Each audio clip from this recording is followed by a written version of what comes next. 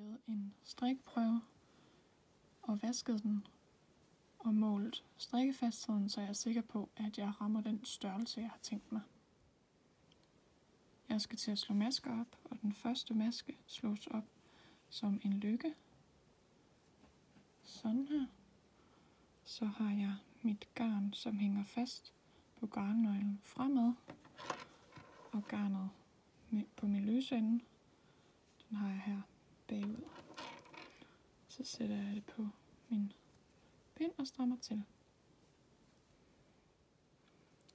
Nu skal jeg til at slå de resterende masker op, og der bruger jeg sådan et V-greb, hvor jeg så tilter hånden og fanger garnet her, fanger den løs ende og sætter det ned på pinden. Og det skal ikke være alt for stramt.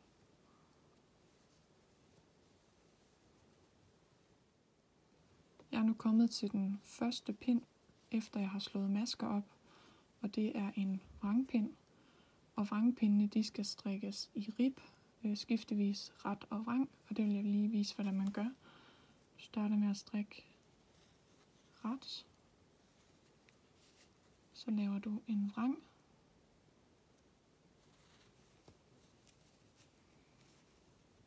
så en ret igen, og en. Og det gentager du pinden ud. Den anden pind, det er en ret pind, så der strikker man bare alle masker ret.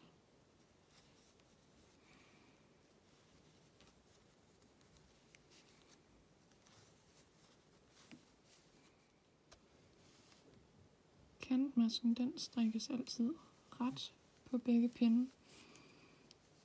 Så har vi her en søjle med kun vrangmasker, så den strikkes vrang. Så har vi de her dutter, eller perler, så den skal strikkes ret. Så har vi vrangsøjlen igen. Vrang. Så sådan kan du kende mønstret. Jeg vil lige vise, hvordan du tæller antallet af pinde i mønstret. Vi har opslagskanten som den første retmaske hernede, så etablerer vi mønstret på første vrangpind, som ligger her og kan kendes på den første vrangmaske. Og så tæller vi vores mønstre fra første retpind, som så ligger her. Så det er pind 1, 2, 3, 4. Eller du kan tælle det ude i, perlemønstret her, hvor vi så vil have pind nummer 2. 4, 6, 8, 10. En højrevendt udtagning strikker du ved at samle lykken op imellem to masker og samle lykken op bagfra med din venstre pind. Sådan der, og så strikker du en ret.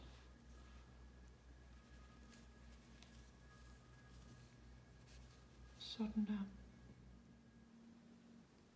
Udtagningerne i mønstret, det kan du kende ved, at der lige pludselig sker noget andet. Så her har vi en ret, og så kommer der en ret op igen her, og udtagningen den, den kommer op her. Så her ved siden af, hvis man lige krænger det lidt ud, så er der en udtagning igen her, her, her, der og der. Så det vil sige, at jeg har 1, 2, 3, 4, 5, 6 udtagninger, og det er et lige antal, og det passer fuldstændig ind i mønstret. Når du skal sætte masker til hvile, så kan du enten gøre det ved at sætte den på en maskewire. Man sætter den på pinden, og så kan man glide maskerne over på.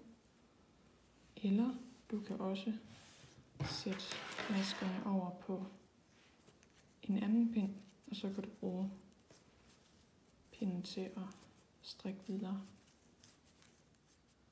Jeg skal til at samle masker op øh, fra rygstykket til øh, venstre skulder, og jeg har talt det antal masker ind på rygstykket, hvor jeg skal starte med at samle masker op fra. Og den første maske, jeg skal samle op i, det er i, i den her vrangmaske, så samler jeg garnet op fra vrangsiden og får det ud på retsiden. Så her har vi den første maske, og så samler jeg op i retmasken, og sådan kører jeg egentlig hele vejen hen. Øh, og den sidste maske, jeg samler op i, det er i kantmasken.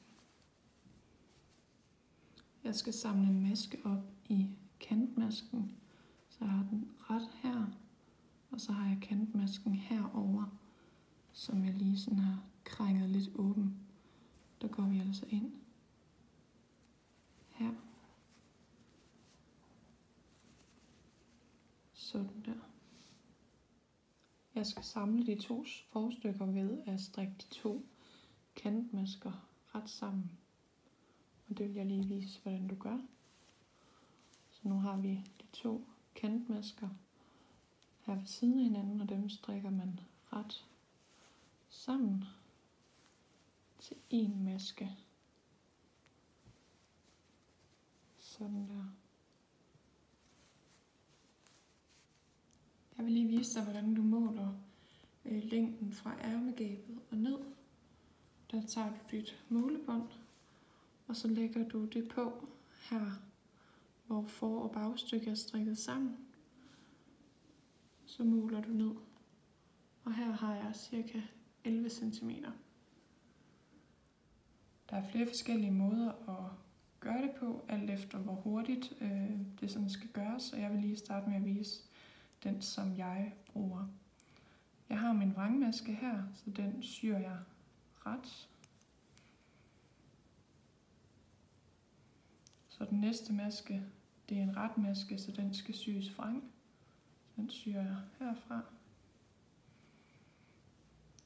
Og så er det, at vi kan begynde at tage en af, mens øh, den næste maske syes. Så her har jeg en vrang, som tages vrang af, og så har jeg en vrang her, som skal syes ret. Så der går om bagfra, kommer op imellem her, og syr den ret, sådan der.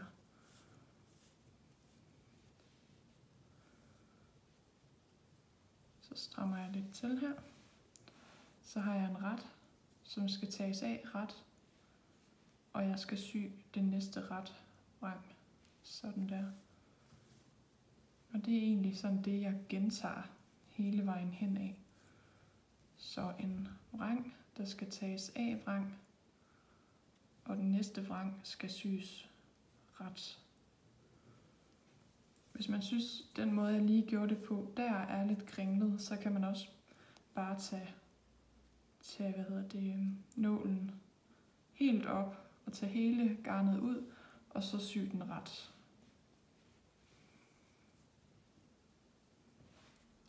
Jeg vil vise dig, hvordan du øh, samler tre ud af fire masker op øh, rundt langs halsen. Og jeg har allerede været i gang her, hvor man kan se, at jeg har samlet tre op, sprunget en over, tre op, sprunget en over og samlet tre op. Så nu skal jeg springe en maske over, og den ligger her, så jeg skal gå ind her.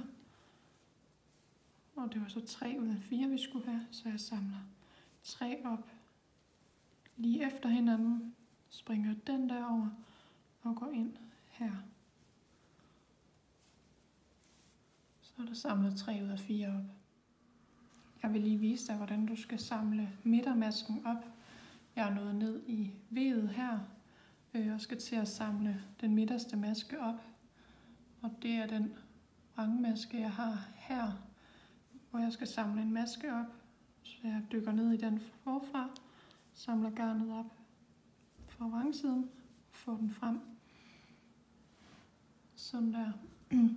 Og den maske, den markerer jeg lige med en maskemarkør. Så sætter jeg bare den her nedenunder. Så kan du altid kende den. Jeg vil lige vise, hvordan du strikker drejet rib. Og når du skal strikke drejet rib, så skal du strikke en drejet ret. Det her om i bagerste maskeled, du strikker en ret sådan at den bliver drejet her foran, så er det en almindelig vrang og drejet ret igen. Det er herom bagved. Sådan der. Jeg vil lige vise, hvordan du strikker en centraliseret indtagning her ved midtermasken. Jeg har strikket frem til en maske før midtermasken, og de to masker tager jeg så øh, løst af ret sammen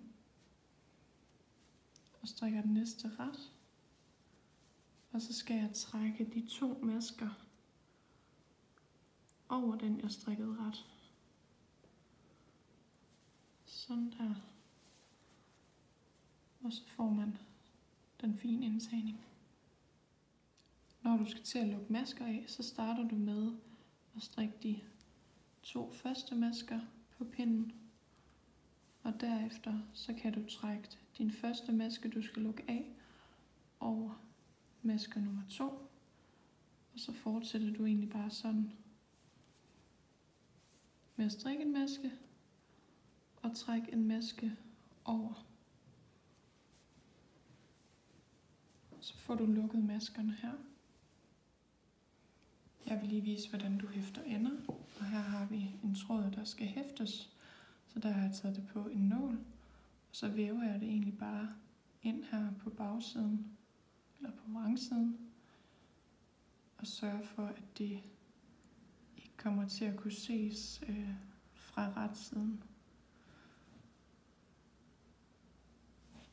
Og så trækker jeg igennem her. Og så kan jeg klippe den her ende. Og det kan man ikke se fra retsiden.